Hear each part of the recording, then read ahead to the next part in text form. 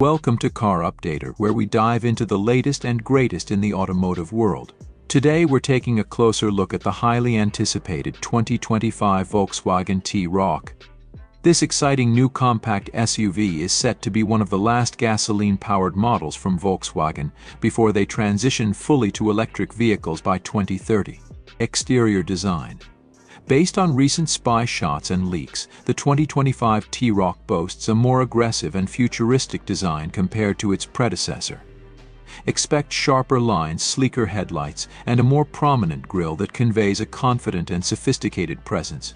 The rear end also gets a refresh with new taillights and a sculpted bumper.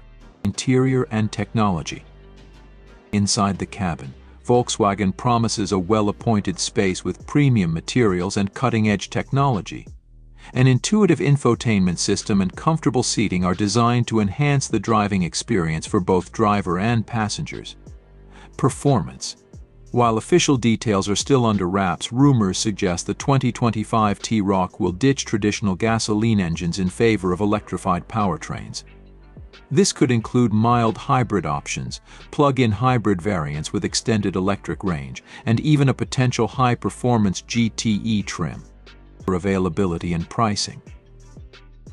The second-generation T-Roc is expected to debut later this year or early 2025. Pricing information is not yet available, but stay tuned for updates as we get closer to the official release date. So, what do you think of the 2025 Volkswagen T-Roc?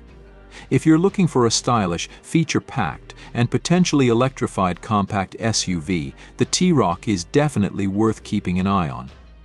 Thanks for watching, and don't forget to leave a comment below with your thoughts on the new T-Roc.